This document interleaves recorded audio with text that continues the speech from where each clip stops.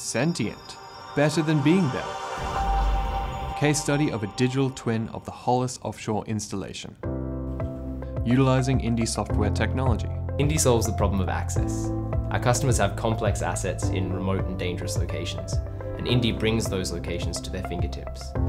We've made an application that uh, uses game technology, and it's uh, very easy for someone who's familiar with 3D application games. They can jump in, navigate around, and it's all intuitive.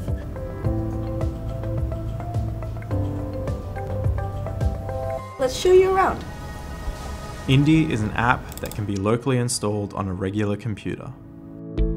We built a digital twin using our proprietary software named InDI. We were supplied with two items from our client Holis, a Navisworks CAD file, which is an engineering drawing, and an Excel CSV file containing all the properties related to the individual pieces of equipment.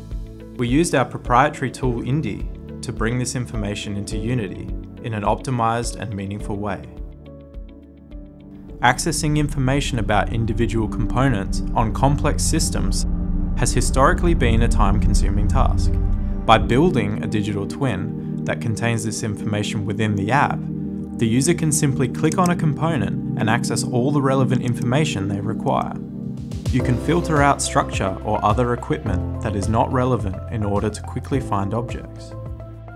The status of equipment can be shown and easily understood through the use of color coding. Notifications and other properties can be added and viewed by others.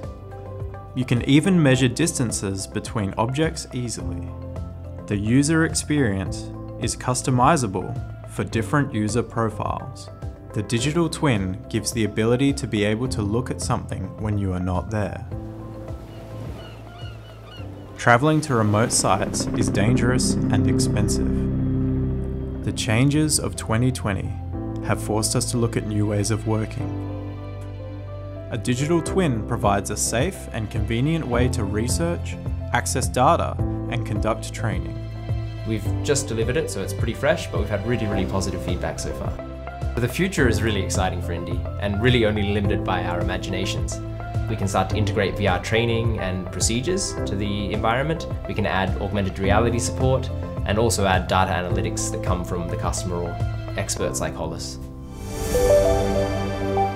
Sentient. Better than being there.